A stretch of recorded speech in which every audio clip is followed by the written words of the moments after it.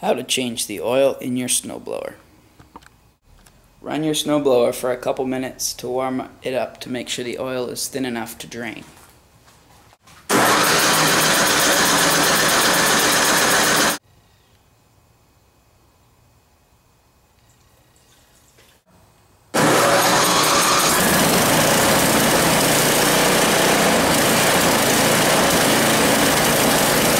Park over a drop cloth so if you spill any, it won't matter.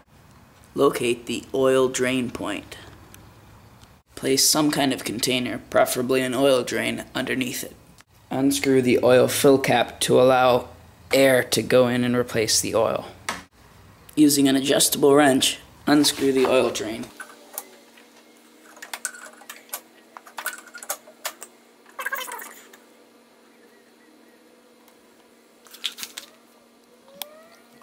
After the oil has completely stopped coming out, carefully screw the cap back on.